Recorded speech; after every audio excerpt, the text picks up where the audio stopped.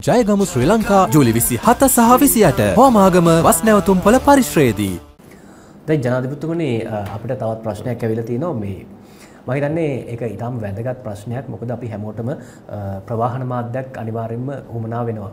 දැන් එදා තාරුණ්‍ය වගේ නෙවෙයි අද අන්තර්ජාලයත් එක්ක ජනාධිපතිතුමනි විදේශ රටවල කොහොමද ප්‍රවාහන පහසුකම් විදුලි දුම්රිය ලෝ ෆෝබ්ලස් මේ බස් ප්‍රවාහන සේවය මේ වගේ ගොඩක් දේවල් රටින් පිට නොගියත් මේ තාරුණ්‍ය දකිනවා. අපේ රටේ ප්‍රවාහන සේවයේ ලොකු ප්‍රශ්නයක් තියෙනවා කියලා අපට හැම තැනින්ම වාර්තා වෙනවා සහ අපිටත් ඒක පෙනෙන්න තියෙනවා. ඔබතුමා මොන වගේ විසඳුමක්ද මේ ප්‍රවාහන ක්ෂේත්‍රයට ලබා දෙන්න කියලා ප්‍රශ්නයක් අහනවා අපෙන් YouTube ඔස්සේ.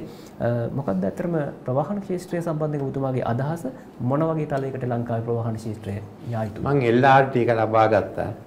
ඒක අහෝසි කරා. දැන් LRT එක ආපහු ලබා ගන්නවා. නවීන ක්‍රමයක් කොහොමද අපේ බස් සේවය ගැන අලුතෙන් හිතන්න තියෙනවා. අපේ දුම්රිය ගැන හිතන්න තියෙනවා. අපි ඒව ගැන තමයි බලන්නේ. ඉතින් කොයි දේශපාලකයන්ද ওই විදිහට බලන්නේ? තියෙන එක බේර ගන්න ඕනේ කියනවා. අලුත් වැඩියක් හිතන්නේ අලුතෙන් හිතන්නේ නැහැ අපිට වෙලා තියෙන්නේ මේ රටේ අපි අලුතෙන් හිතන්නේ නැහැ. අන්තිමට ওই සිවුරු දෙනාම ඔතෙන්ට හිර වෙලා තියෙනවා. ඉතින් පරණ විදිහට හිතපු නිසා තමයි මේ රටේ ආර්ථිකය කඩාවැටුනේ. මේ අයට මට පේන හැටියට අපි ඔයකට සිදුවේ ඒ අයට පොඩි ටියුෂන් පන්ති ටිකක් තියෙනවා. මොකක්ද ඕන කියලා.